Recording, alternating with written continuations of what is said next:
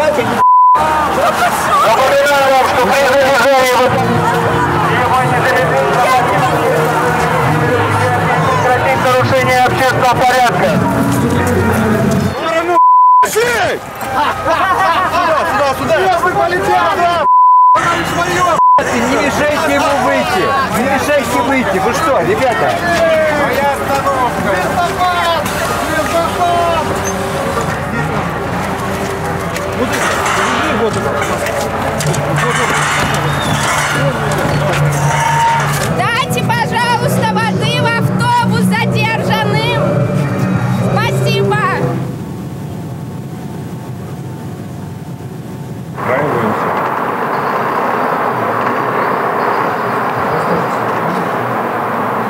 ваш сотрудник? Спиридонов Михаил. Нет, нет, Нет, не знаю. Какой-то гражданин Спиридонов, у нас сейчас много таких вот граждан, позвонил и говорит, что ходят какие-то люди с плакатами. А вот посмотрите, плакат. у нас. нет, Так вообще никто я- не ходит даже. Я вижу, мне просто объяснили, то, что такое, Так с такая, такая с любого сотрудника мемориала. Нет, он говорит, что здесь ходит- позвонил какой-то товарищ и сказал, что возле мемориала ходят люди с плакатами. Нет войны. Подождите здесь, я конечно решу. Товарищ полицейский. Вот, пожалуйста, бумага нужна? Нет, у меня есть. А, хорошо. Работаешь, работаешь в мемориале, и как бы такой довольно относительно разное бывало, но все-таки такая относительно нормализованная жизнь, и изучаешь пове- какие-то модели поведения людей в разных совершенно ненормальных ситуациях. Во время ареста, во время там этапа, э, во время пыток, допросов в ГУЛАГе, в лагерях, во время войны, во время оккупации и так далее. И ты все время как бы это изучаешь, и смотришь, а потом вдруг хоба, и ты сам оказываешься вот из этого нормализованной какой-то относительно ситуации, ты вдруг сам оказываешься как будто вот в этой самой ситуации, ну, пока еще не ареста буквально в нашем случае, но тем не менее какого-то вот того самого, что ты столько лет э, там изучал как исследователь, как, не знаю, кто там еще, не знаю, активист. И э, мне кажется, ужасно важно, вот мемориал против войны, и мы не знаю, сколько мы еще см- сможем говорить об этом здесь, но давайте и действовать, и говорить, У меня маленький опыт града, но когда били там, где я был, ну, в общем, оно похоже. Оно было не, не разделяющееся. Кассетный, он же взрывается, потом разбрасывается. Да, здесь взрыв там, где его попало, но порядок падения, ясно, что их Хотя и залпом выпускают, но не сразу, всем пакетом и по очереди. Раз в дня, слава рисуюсь не раз. Все люди родом из Харькова, только некоторые стесняются в этом признаться. Это правда она так сказала? Ну, конечно. Да? Сама была из Харькова, и Юлия Маркович Даниэль оттуда, еще масса хорошего народа. А, ага. Это была... Харьков уже какое-то время был столицей Украинской ССР в начале советской власти, потому что дальше от границы, чем Киев, до того, как Польшу расчекрыжили. Харьков, он на самом деле очень похож на Москву, на центр Москвы, на какую-то покровку. Э, старую покровку, не э, реновированную. Это же застройка мирного времени, что называется, то есть где-то с 1860-х по 1913 это то, что знакомо всем москвичам. Черт возьми, как это вообще возможно? Обстреливали градом Харьков. В Харькове, который три раза штурмовали, освобождали во время Отечественной войны. Было видно, к чему идет. Это все не сегодня началось. Это возвратное движение маятник по истории. Мне, может быть, легче, чем другим, потому что я как бы в этом все время был. Э, Этому не удавалось так существенно противостоять. Ну, как-то пытались. По крайней мере, понимать легче, чем не понимать. М, и даже если случится худшее, наверное, мне будет лучше, чем другим. Потому что я немножко тоже в этом понимаю. Ну, а худшее может случиться. Хороший вопрос, чем ты будешь заниматься. Неизвестно. Может быть, все-таки не история репрессий. Да, то есть не, такая прям уж, как это династическая линия, да? Мы тут спросили у знакомого историка, есть ли прецеденты в новейшей истории, чтобы э, режимы, начинающие такого рода войны, хорошо заканчивали.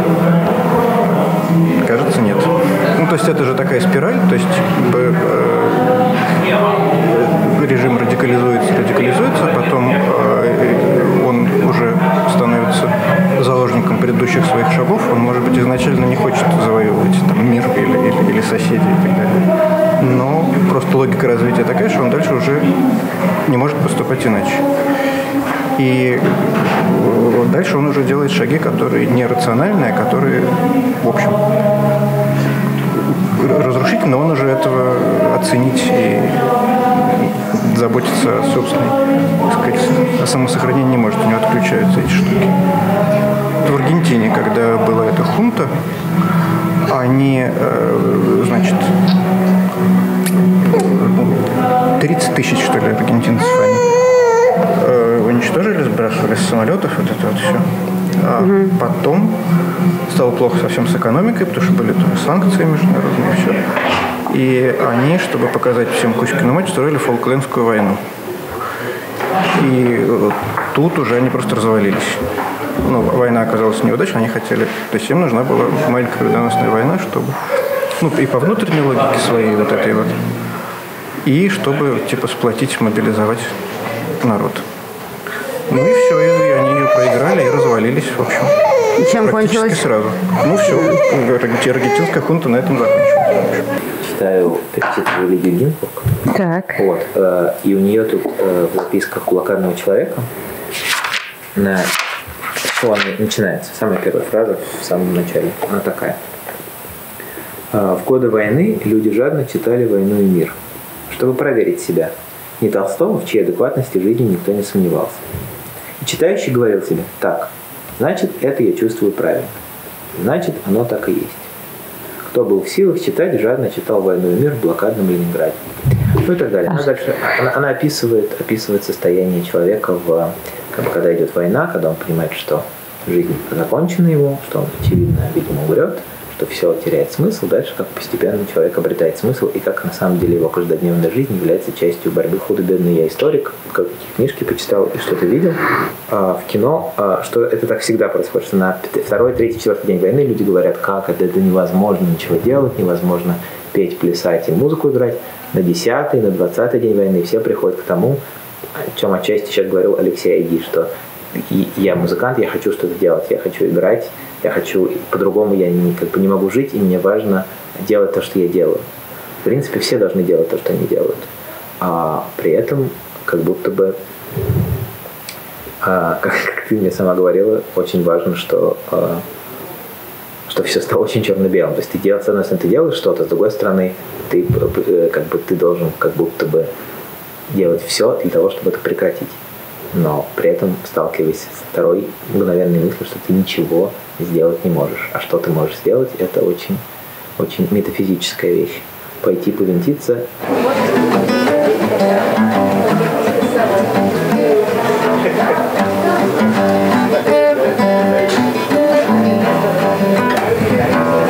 А может, ты мне на гитаре подыграешь? Что-нибудь, в чем угодно. Хорошо, ладно, я буду играть одну гармонию. Нет, ну давай хотя бы три. Три не... Слушай, как сказал а, одна гармония, один аккорд это cool. Два аккорда, уже подожди, три это уже блядь, джаз. Да четыре. Давай два. Radiohead. Два-два. А куда идти-то?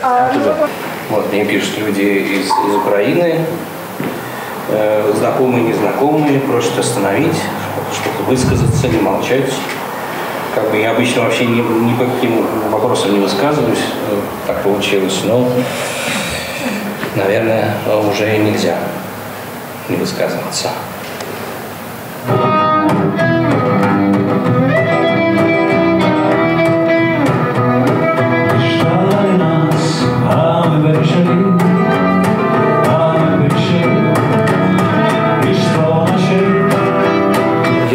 а сказать. Это э, такого ведь... Это невозможно было себе представить. И хотя вроде казалось, можно было представить, но все равно невозможно. И сейчас я не могу себе это представить. И испытываю чувство ужаса. Что еще могу сказать? Конечно, думаю, очень хорошо. Но я не могу уехать, потому что у меня много здесь, э, вот как ты говоришь, вот этих обстоятельств и людей, которых я, про которых я знаю, что они от меня зависят, или про которые я думаю, что они от меня зависят. И я себе представляю так, что только если они где-то в безопасном месте, тогда я могу уехать. Надежда, не надежда, а какое-то впечатление, что если отсюда будет большая миграция, она очевидно будет, все-таки она будет уже другая, она будет похожа на миграцию после революции 17 года, когда уезжали огромные как бы, части общества, и все-таки был русский Париж, была русская Прага, русский Берлин, и все, что ты говорил справедливо, про, отчасти про одиночество, про то, что ты как бы неприкаянный, ты живешь в другой культуре, но я думаю, что это в принципе уже будет похоже на какое-то гетто, культурное гетто, в котором мы тут, строго говоря, и тут-то мы часто оказывались в культурном гетто. Картину оставляем. Да, пойдемте. Смотри, любимая малова.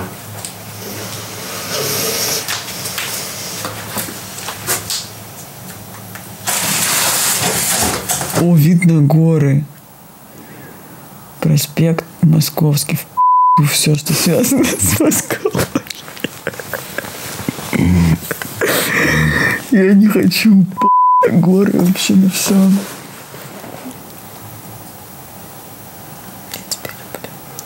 Я тебя. Так же сильно, как мне сейчас сыкотно. Сыкотно больше.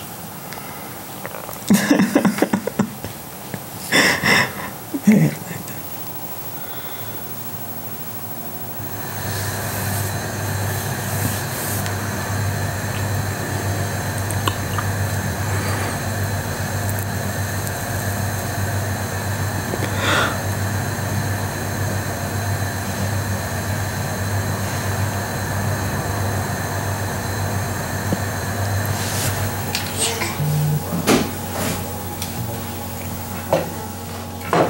Опа.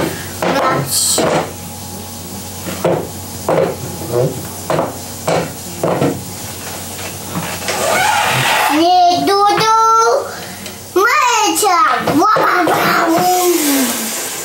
лететь? Да. А куда мы летим? Юшу. Юшу. В Грушу? Не, Юшу. В Грузию? Да, Юшу. Это вам. Выбирайте какой вкус сами. Я еле держу. Смотри. Цвета. Ты знаешь, что это за цвета? А что цвета? Прикольно. А что цвета? Нет, я не смотрела. Ты знаешь, что это? Да. Это флаг Украины. Это флаг Украины. Мой в сумке, значит, это мой.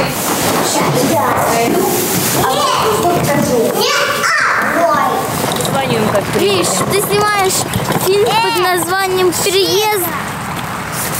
Экстренная эвакуация с Кореховой. Вот сейчас я на этом номере. Если все будет хорошо, а, и мы вылетим сегодня вечером, то завтра утром а, я буду в Тбилиси а, на год. Не-не, на год, кстати, да. А я буду помогать. Аэропорт гудит! Я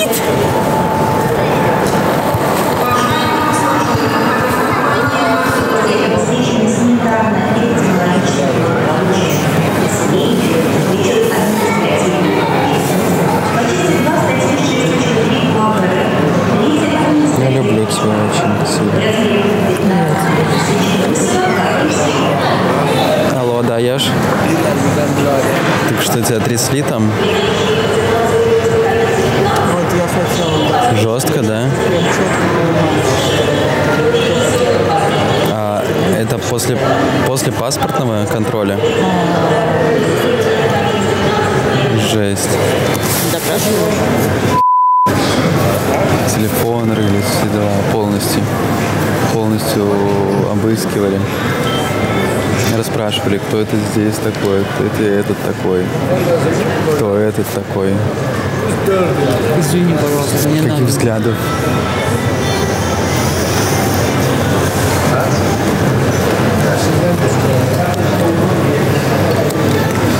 Все в порядке. Давай, короче. Давай сейчас там. Здорово. Тебя свое сидит. Свое. Будешь пристегиваться?